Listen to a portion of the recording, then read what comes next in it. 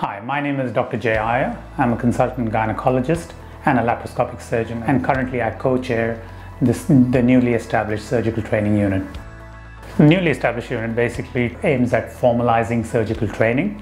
Surgical training is all about having a mentorship which improves patient outcomes whilst mitigating risk. There used to be a Halstedian model where you, you know, see one, then do one and teach one. However, in today's modern era, it, it's not always quite so simple.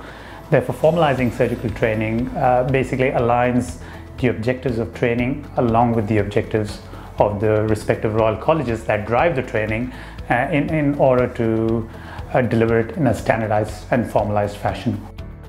When you're teaching surgical skills in a non-patient environment, which is what we initially aim to do, it tends to be less stressful, less threatening for the trainees and therefore I think they'll be able to assimilate those skills hmm, far better and have far more confidence with, with a reduced learning curve. They'll find that when they finally go and confront a patient in a clinical environment, they, they're far more at ease.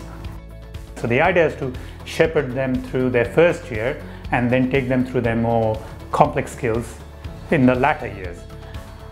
Once we get to those complex skills, those will be specialty specific, but basic surgical skills don't change.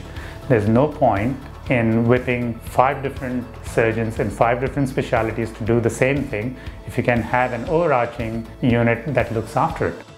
What I'd like to say to students coming through is that you know they need to express their interest and showed by you know dedication to patient care and attending you know surgical cases with us so I think we're well on our way and it's going to be uh, exciting times ahead. I'm looking forward to it.